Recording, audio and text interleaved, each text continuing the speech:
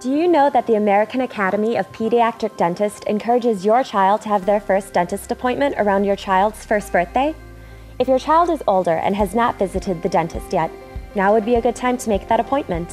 Childhood tooth decay can cause many health-related problems in children, even while they are still babies. Tooth decay is caused by bacteria in the mouth and is even more common than asthma, diabetes, or obesity. Here are three things that parents can do to avoid cavities and tooth decay. Limit sippy cups and bottles. When a child carries around a cup or bottle during the day, for naps, or at night, the sugar in most juice, milk, or formula can pool around the teeth and allow cavity causing bacteria to grow. If your child is attached to their sippy cup, try restricting juice and milk to meal times and serving water the rest of the day. A child only needs about 4 ounces of real fruit juice a day, and most punch is not considered real fruit juice. Eat nutritious foods.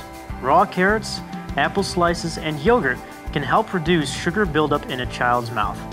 Cheeses like mozzarella, cheddar, and Swiss can stimulate saliva and reduce decay, so try a bit of cheese for a snack. Be sure to limit candy, breads, chips, and crackers. In general, candy and sugar drinks should not even be given to kids under age 5, and even then only as a treat. And brush your child's teeth. An adult should help with brushing until a child is about 8 years old. Remember to brush twice a day for about 2 minutes using short strokes on both the inner and outer surfaces of the teeth.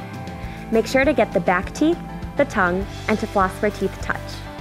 Remember, to help prevent childhood tooth decay, limit those sippy cups, eat nutritious foods, and help brush your child's teeth. For more information on important public health issues, Call your local health department or visit the WTVP.org website.